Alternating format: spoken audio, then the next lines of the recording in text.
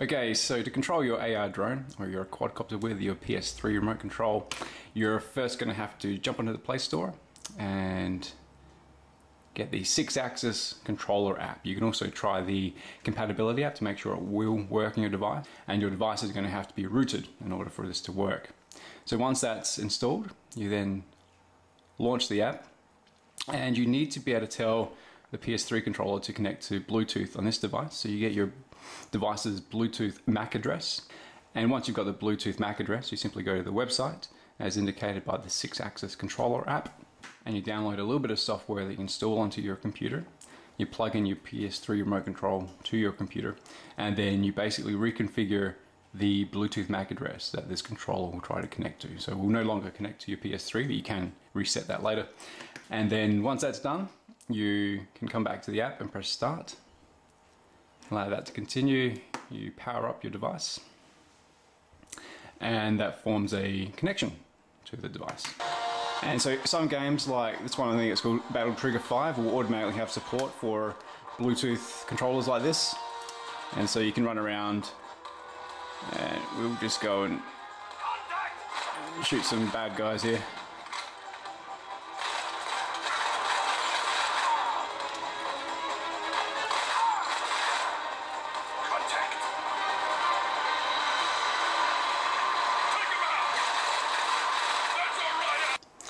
However, for most other games, you may have to go into your preferences, and this is where you can set general settings on how the controller or how the controller's buttons should be mapped onto the screen of your device. So, for example, you go into touch emulation and you can create touch profiles. So, we just load the one I have for the AR drone. And so, as you can see, I've set up four touch points for where specific buttons should map onto the screen. At the very top there we have a touch spot mapped to the cross button. Bottom we have the triangle spot mapped to the triangle button. And then we have the two analog sticks. So this is where your thumbs would usually go on the screen to control it. And these are mapped to the analog sticks on the controller. And then if we just open up the button properties, there are a range of different properties of each button that you can configure in order to get the performance that you're after for that particular application. So for example, these two touch points will let my analog sticks control the uh, quadcopter's flight. Uh, we have the cross button up here so I can change the view of the camera's recording from. Triangle button down here, that's take off and land. And that's basically all you need to do. Um, just go back into there for a sec. So if we go back and the important thing to do is application profiles.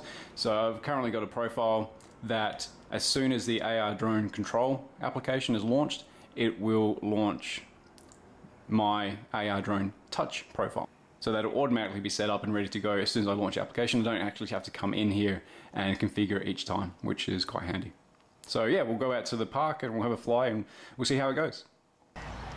Okay, so one of the things I've been wanting to do for ages is to fly this quadcopter with a proper control pad and not just using your phone or your tablet. It's really easy to do show you how to do it in a second, but we're going to take it for a quick fly first.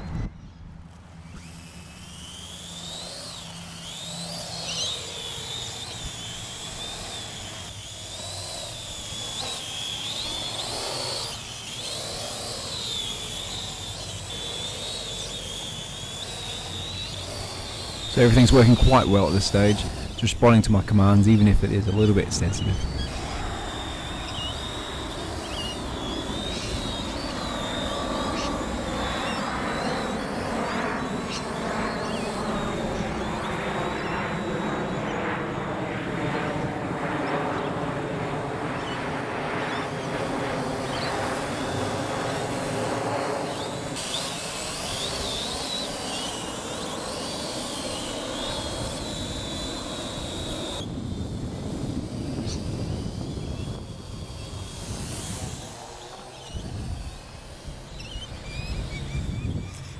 Although at this point it's getting a little bit erratic and I'm starting to wonder whether there's an issue with the control signals, the distance or perhaps even the battery level of the drones. I think the battery's quite low.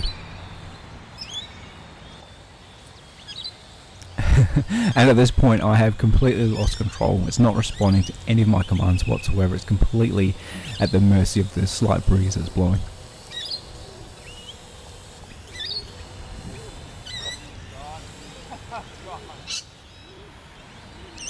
And unfortunately, that is the last we ever saw of it, lost in someone's backyard or a tree or some other place we couldn't find. Anyway, thanks for watching. I hope you enjoyed. Cheers. Profiles. So I've currently got a profile that as soon as the AR drone control application is launched, it will launch my AR drone touch profile. So that'll automatically be set up and ready to go as soon as I launch the application. I don't actually have to come in here and configure each time, which is quite handy. So yeah, we'll go out to the park and we'll have a fly and we'll see how it goes.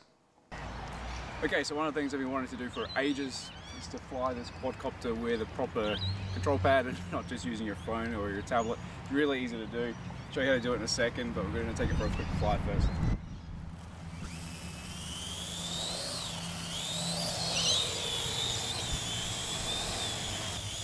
And then you basically reconfigure the Bluetooth MAC address that this controller will try to connect to. So we'll no longer connect to your PS3, but you can reset that later.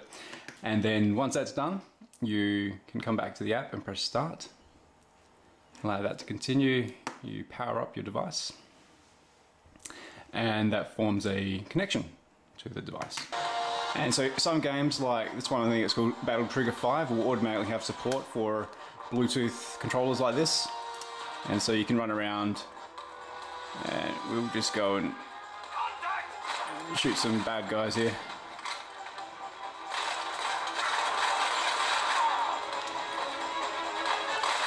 Two analog sticks. So this is where your thumbs would usually go on the screen to control it. And these are mapped to the analog sticks on the controller.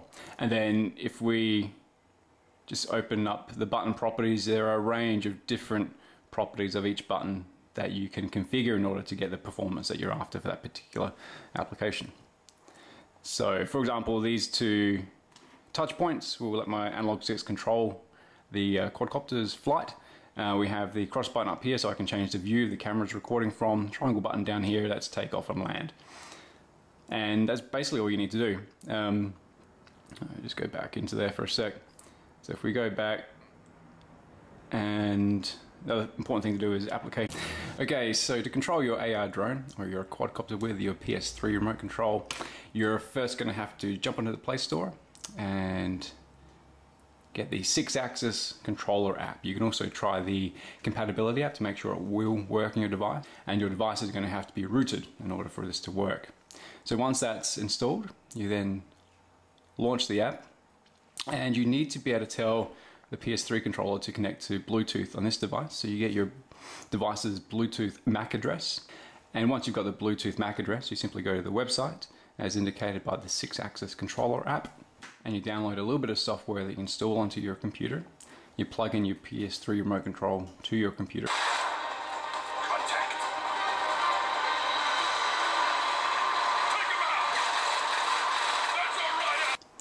However, for most other games, you may have to go into your preferences, and this is where you can set general settings on how the controller or how the controller's buttons should be mapped onto the screen of your device.